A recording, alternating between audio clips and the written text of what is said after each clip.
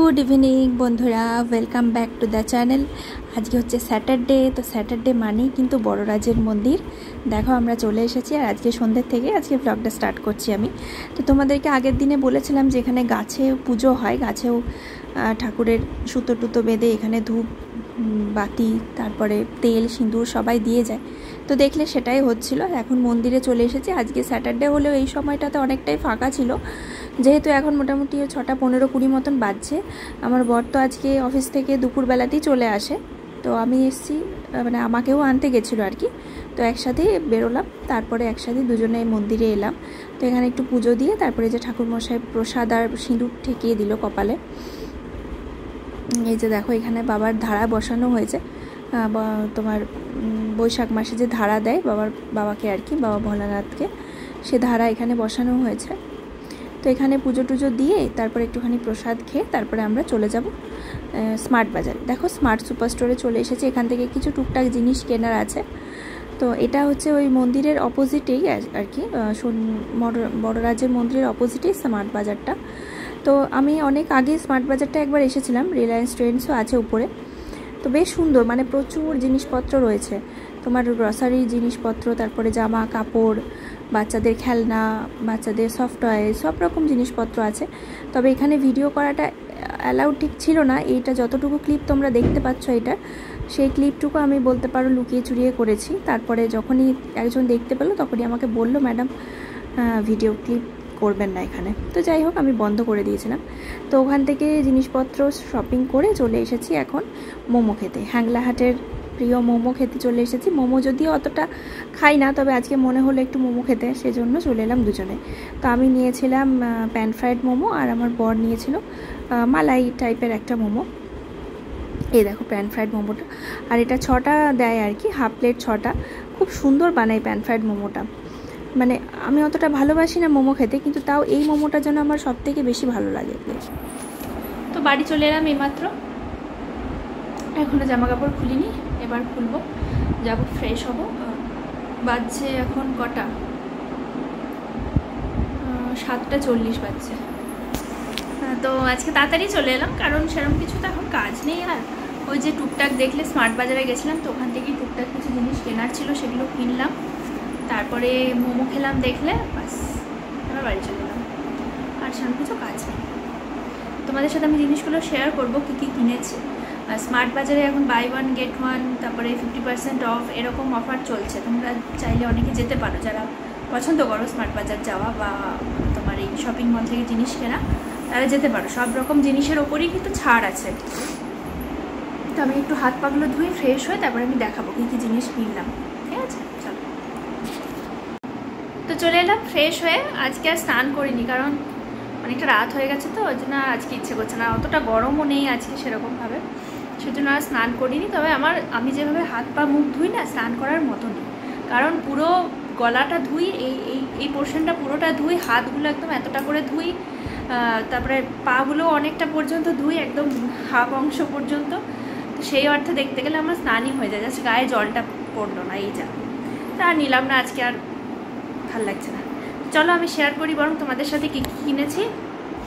এই দেখো, এটা হচ্ছে বডি ওয়াশ আমি এতদিন সাবানই ইউজ করতাম, তবে এই কিছু দিন ধরে মানে দিন পনেরো কুড়ি ধরে বডি ওয়াশ ইউজ করছি। কারণ সাবানটা শেষ হয়ে গেছিল, কোনো কাকতালীয়ভাবে নয় মানে কোনো প্ল্যানিংভাবে না, সাবান শেষ হয়ে গেছিল তো ভেবেছিলাম একটা বডি ওয়াশ রয়েছে, ওটা শেষ করে দিই।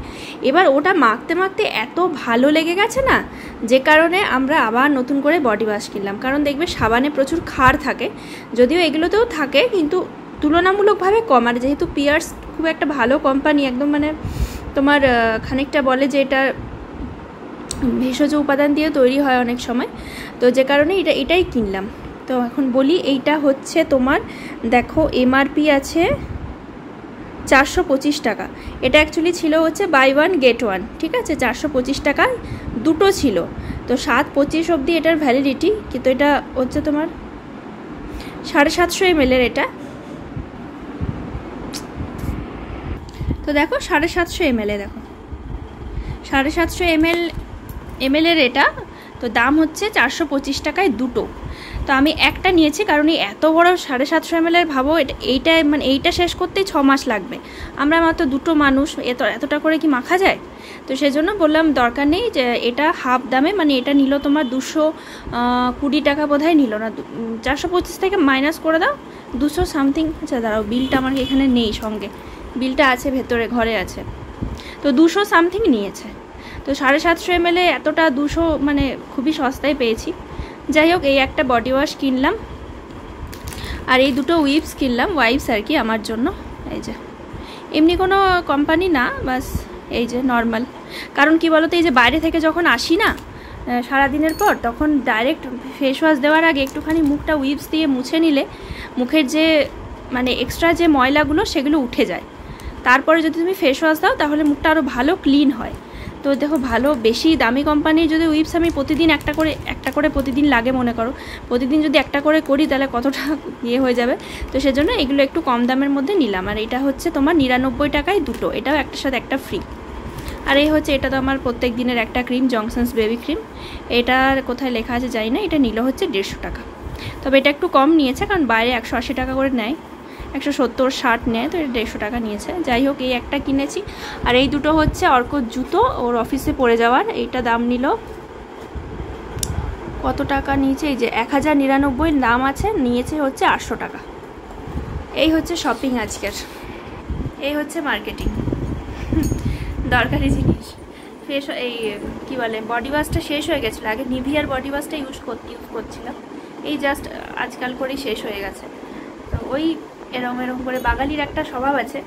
দেখবে টুথপেস্ট সাবান সাবানটার থেকেও টুথপেস্ট তারপরে এই এইসব ক্রিম, এই জিনিসগুলো যতক্ষণ না শেষ হচ্ছে, এরকমভাবে চিপে চিপে দরকার হলে মুখটা কেটে দেয় অনেকে। আমিই করেছি কত ছোটোবেলায়, মুখটা কেটে দিয়েছি, তারপরে যতটুকু আছে আঙুল দিয়ে কুচিয়ে কুচিয়ে নিয়েছি মানে লাস্ট বিন্দুটুকুও ছাড়িনি।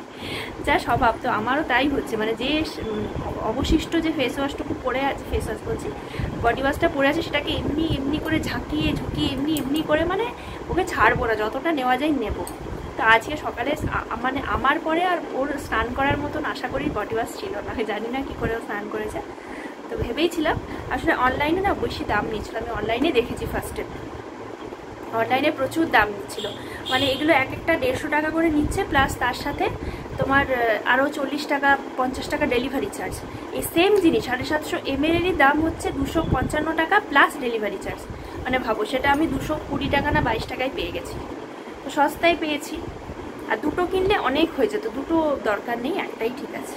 পরে আবার দেখো, একই রকম যদি দুটো নিয়ে নিই তাহলে কি হবে? দু মানে দুরকম মানে একই রকম দুটো একই দামের হয়ে গেল। পরে আমি চেঞ্জ, চাইলে আমি চেঞ্জও করতে পারি। এটা এখন আমার আশা করি বহুদিন চলে যাবে, কারণ এতটা জিনিস। আর বডি ওয়াশ দেখবে, সাবানের থেকে আমি যেটা এতদিন ইউজ করে দেখলাম, সাবানের থেকে বডি ওয়াশ কম খরচা হয়, সাবান যেন বেশি খরচা হয়। দেখা যাক, কত কী হয়। আজকে রাতে আমাদের রাতে রান্না বান্না বলতে রাতে কি হয়েছে? ডিমের কারি হয়েছে বোধহয়। আমি ডিমের কারি খাব না, সকালেই বলে গেছিলাম। আমি একটুখানি আলু ভাজা করব আমার জন্য আর ছাতু মাখবো। আলু ভাজা, ছাতু, ডিম সিদ্ধ এই দিয়ে আমি আজকে রুটিটা খাব। আর ওদের ডিমের কারি হয়েছে বোধহয়। তো কালকে ছুটি, কালকে সানডে সারাদিন ঘরে থাকব, দেরি করে ঘুম থেকে উঠবো। আমি আগে সপ্তাহে বলেছি, যারা ডিউটি করে তাদের জন্য স্যাটারডেটা দারুণ মজার জিনিস, কারণ সানডে ছুটি। এই ছুটিটা যে কীভাবে পেরিয়ে যায় কেউ বোঝা যায় না মানে একদমই বোঝা যায় না। তো চলো আমি বেশি আর কথা বলছি না, আমি একটুখানি রেস্ট নিয়ে গিয়ে, কারণ আজকে তো মানে শুতে পাইনি সন্ধ্যাবেলায় এসে। এখনই শোবো, একটু রাখি, যেটা যা জায়গায় রাখি, শুই, আবার পরে দেখা হবে তোমাদের সাথে।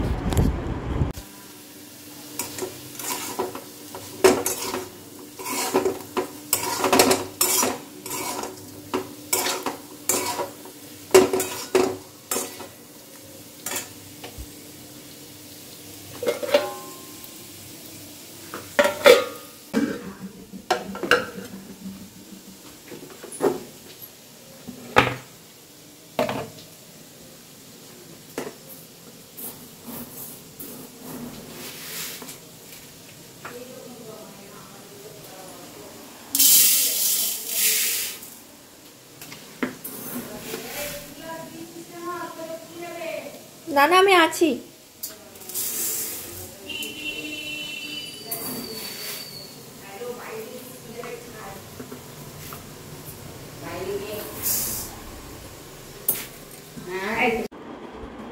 হ্যালো বন্ধুরা, তো খাওয়া দাওয়া করে অনেকক্ষণ চলে এসেছি। এখন বাজে এগারোটা দশ। আমি খাওয়া দাওয়া করে চলে এসেছি প্রায় সাড়ে দশটা।